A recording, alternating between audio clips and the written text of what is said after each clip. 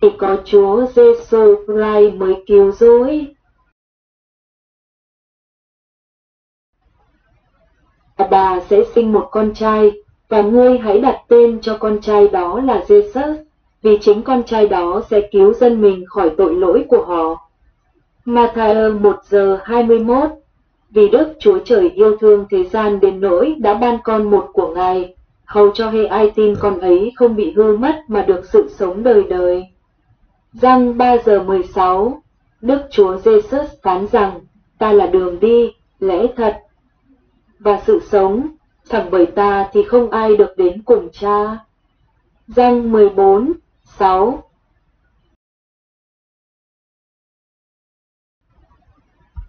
Ngoài ra, không có sự cứu rỗi trong bất kỳ ai khác, vì dưới trời, chẳng có danh nào khác ban cho loài người, để chúng ta phải nhờ đó mà được cứu. Công vụ 4 giờ 12 Trước hết, tôi đã truyền lại cho anh em điều mà tôi cũng đã nhận được. Ấy là đấng Christ đã chết vì tội lỗi chúng ta theo lời kinh thánh, Ngài đã được chôn và Ngài đã sống lại vào ngày thứ ba theo lời kinh thánh, 1 Corinto 15, 34. Trong Ngài, chúng ta được cứu chuộc bởi huyết Ngài, được tha tội, theo sự giàu có của ân điển Ngài, Epheso 1, 7.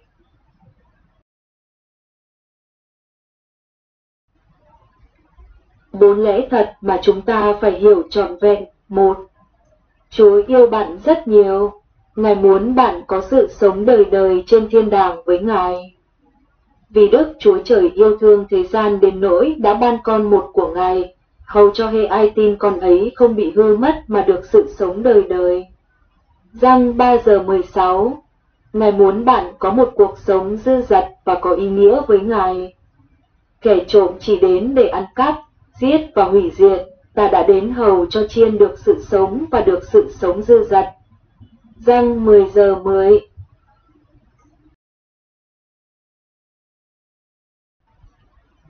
Dù vậy, nhiều người không trải nghiệm được cuộc sống có ý nghĩa và không chắc chắn liệu họ có sự sống vĩnh cửu hay không vì hai Con người vốn có bản chất tội lỗi.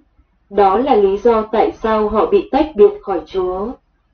Tất cả đều đã phạm tội, vì mọi người đều đã phạm tội, thiếu mất sự vinh hiển của Đức Chúa Trời. Roma 3 giờ 23 Vì lòng tham tiền bạc là cội rễ của mọi điều ác.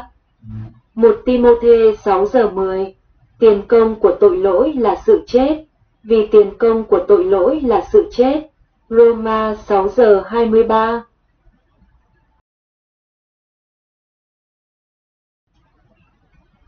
Thánh chỉ rõ hai loại chết, chết về thể xác. Và như đã định cho loài người phải chết một lần, nhưng sau đó là sự phán xét, Hebrew 9 giờ 27. Chết về mặt tâm linh hay sự xa cách đời đời với Đức Chúa Trời trong địa ngục. Nhưng những kẻ hèn nhát, kẻ không tin, kẻ đáng ghê tởm, kẻ giết người, kẻ gian dâm, kẻ phù thủy, kẻ thờ hình tượng, và mọi kẻ nói dối sẽ có phần của chúng trong hồ lửa và diêm sinh cháy bừng bừng, đó là sự chết thứ hai. Khải Huyền 21, 8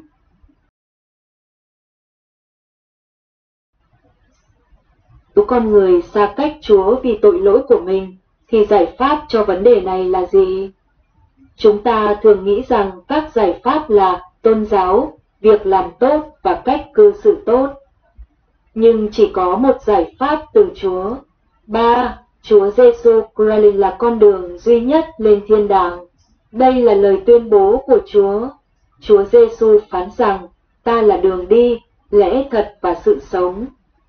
Chẳng bởi ta thì không ai được đến cùng cha. Giăng 14, 6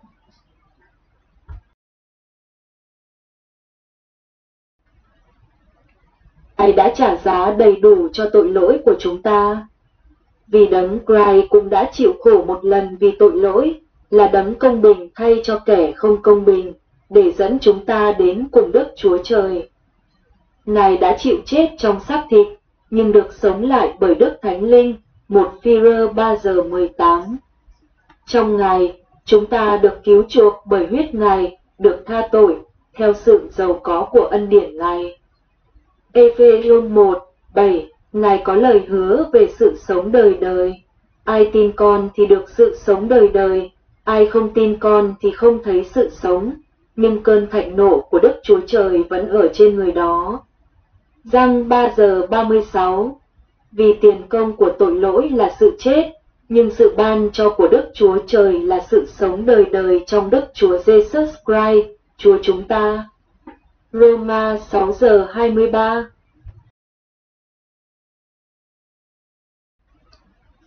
4. Chúng ta cần tin vào Chúa Giêsu Christ để được cứu. Sự cứu rỗi của chúng ta là nhờ ân điển của Đức Chúa Trời qua đức tin nơi Chúa Giêsu Christ.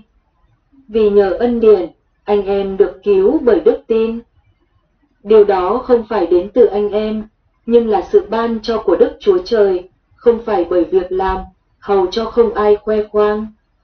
Ephesos 2, 8, 9 Vì bất cứ ai kêu cầu danh Chúa thì sẽ được cứu. Roma 10 giờ 13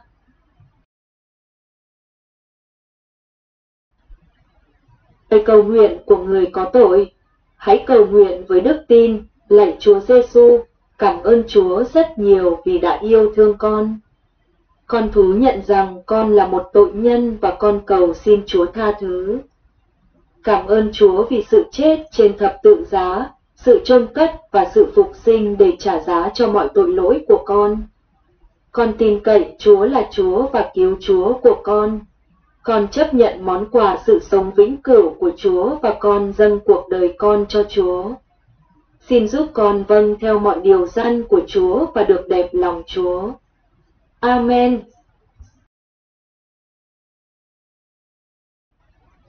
Nếu bạn đã tin vào Chúa Giêsu Christ, những điều sau đây đã xảy ra với bạn.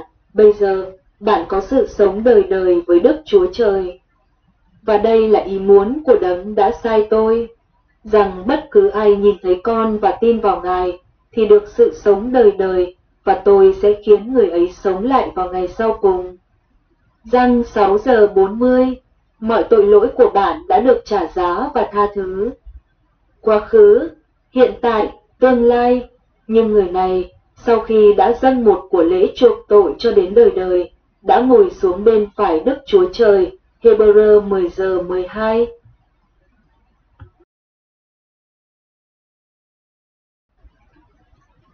Và tạo vật mới trong mắt Chúa, đó là khởi đầu cho cuộc sống mới của bạn.